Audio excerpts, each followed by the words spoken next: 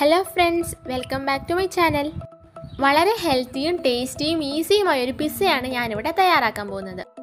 ആദ്യം ഒരു ബൗളിലേക്ക് അരക്കപ്പ് കപ്പ് ആട്ടപ്പൊടി ഇട്ട് കൊടുക്കാം. ഇനി പാകത്തിന് ഉപ്പ് ചേർക്കാം. ഇനി ഇതിലേക്ക് ഒരു ടീസ്പൂൺ പഞ്ചസാര ചേർത്ത് കൊടുക്കാം. വീഡിയോ കാണുന്ന കൂട്ടുകാർ സ്കിപ്പ് ചെയ്യാണ്ട് മുഴുവൻ കണ്ട് സപ്പോർട്ട് ചെയ്യണേ. ഇനി ഇതിലേക്ക് ഒരു ടേബിൾ സ്പൂൺ മെൽറ്റ് ചെയ്ത ബട്ടർ ഒഴിച്ചു കൊടുക്കാം. അടുത്തതായി ഒരു കാൽ ടീസ്പൂൺ ബേക്കിംഗ് സോഡയും കൂടി ചേർത്തൊന്ന് മിക്സ് ചെയ്യാം. സാധാരണ വെള്ളം അല്പം ഒഴിച്ച് എല്ലാം കൂടി നന്നായിട്ട് മിക്സ് ചെയ്യാം.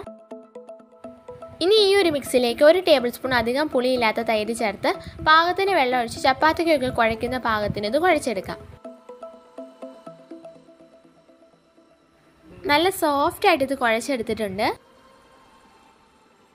ഇത് ഒന്നുകൂടി നന്നായിട്ട് സോഫ്റ്റ് ആവാനായിട്ട് ഒരു പതിനഞ്ച് മിനിറ്റ് മൂടി വയ്ക്കാം ഈ ഒരു ടൈമിൽ നമുക്ക് വൈറ്റ് സോസ് തയ്യാറാക്കാം. അതിനായിട്ട് സ്റ്റവിൽ ഒരു പാൻ വെച്ച് ഒരു ടേബിൾ സ്പൂൺ ഓയിൽ ഒഴിച്ചു കൊടുക്കാം.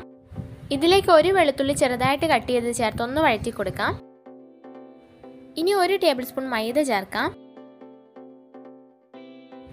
ഇനി ഈ മിക്സിലേക്ക് ഒരു കാൽ കപ്പ് പാൽ ചേർത്ത് കട്ടകളൊന്നുമില്ലാതെ മിക്സ് ചെയ്തെടുക്കാം. നല്ലൊരു ഫ്ലേവറിനായിട്ട് ഒരു കാൽ ടീസ്പൂൺ കുരുമുളക് പൊടിയും കൂടി ചേർത്ത് ഫ്ലെയിം ഓഫ് ചെയ്യാം. ഈ വൈറ്റ് സോസ് ചൂടുള്ള പാനിൽ നിന്ന് മാറ്റാം. കാരണം ഇത് പാനിൽ തന്നെ ഇരുന്നാൽ പാനിന്റെ ചൂട് കൊണ്ട് ഇത് കട്ടിയായി പോകും അടുത്തായിട്ട് ചില്ലി സോസ് തയ്യാറാക്കാം. അതിനായിട്ട് ഒരു ബൗളിലേക്ക് രണ്ട് ടേബിൾ സ്പൂണോളം ടൊമാറ്റോ സോസ് ചേർത്ത് കൊടുക്കാം. ഇതിലേക്ക് ഒരു വെള്ളത്തുള്ളി ചെറുതായിട്ട് കട്ട് ചെയ്തതും അര ടീസ്പൂൺ റെഡ് ചില്ലി ഫ്ലേക്സും ചേർത്ത് നന്നായിട്ട് മിക്സ് ചെയ്യാം. പതിനഞ്ച് മിനിറ്റിന് ശേഷം നമ്മുടെ മിക്സ് ചെയ്ത് വെച്ചിരുന്ന ഡോ നല്ല ഫ്ലഫി ആയിട്ട് വന്നിട്ടുണ്ട്.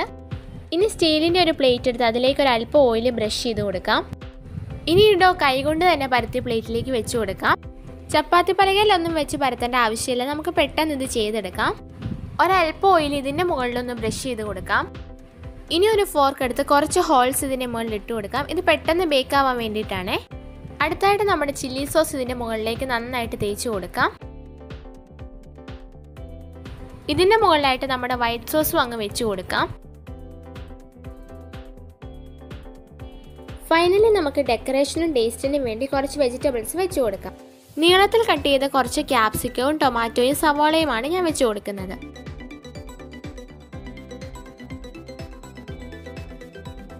ഇനി ഇത് അഞ്ച് മിനിറ്റ് പ്രീഹീറ്റ് ചെയ്തൊരു പാനിൽ വെച്ച് ഒരു പതിനഞ്ച് മിനിറ്റ് ബേക്ക് ചെയ്തെടുക്കാം. പതിനഞ്ച് മിനിറ്റിന് ശേഷം ചീസ് ഒന്നുമില്ലാത്ത നല്ല അടിപൊളി പിസ്സ റെഡിയായി കിട്ടിയിട്ടുണ്ട്. പുറത്തുനിന്നൊന്നും വാങ്ങിക്കാതെ വീട്ടിൽ തന്നെ വളരെ പെട്ടെന്ന് ചെയ്യാവുന്ന ഒരു പിസ്സയാണിത്. വീണ്ടും ഒരു ടേസ്റ്റ് റെസിപ്പിയുമായി കാണാം.